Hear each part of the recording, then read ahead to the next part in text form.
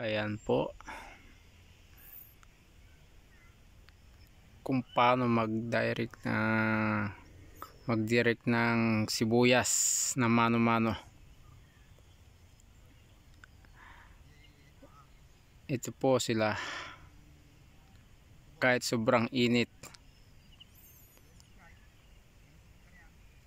Ganyan po sila kasi sipag.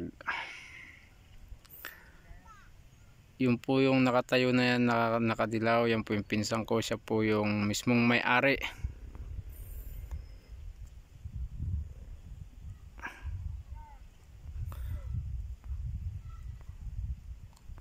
Papakita ko po sa inyo kung gaano po ko kaluwang ang kanyang pasibuyas dito sa Nueva Ecija.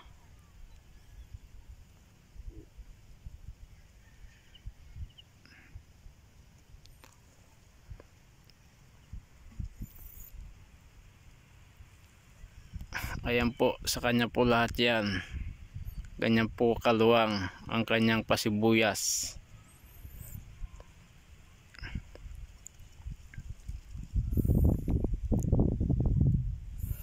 Ito po yung pangalan ng sibuyas na kanilang binubudbud.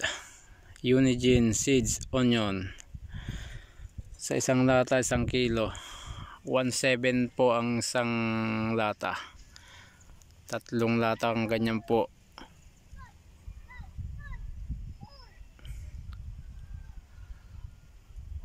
Ang hiling lang din po nila uh, tumas naman po yung presyo ng sibuyas itong taon na to. Para makabawi-bawi naman din po sila sa mga nalugi po nilang pagsisibuyas nung nakarang taon dahil napakamura po ng sibuyas nung nakaraang taon. Halos hindi po nila nabawi yung ibang puhunan dahil sa sobrang baba po ng presyo umabot pa po ng 5 piso isang kilo.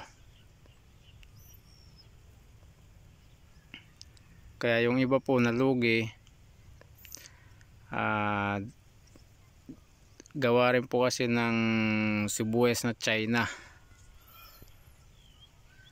Itong sibuyas na po to itong pinupunla po uh, dinadirect po nila dito sa Nueva Ecija. Sibuyas Tagalog po yan.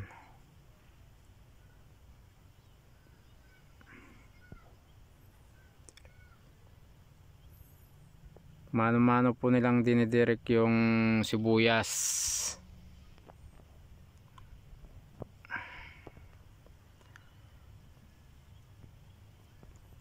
kahit sa sobrang init. Ayan. Yung iba naman po na mga nagpunla. Mga nauna na pong nakapagpunla yung iba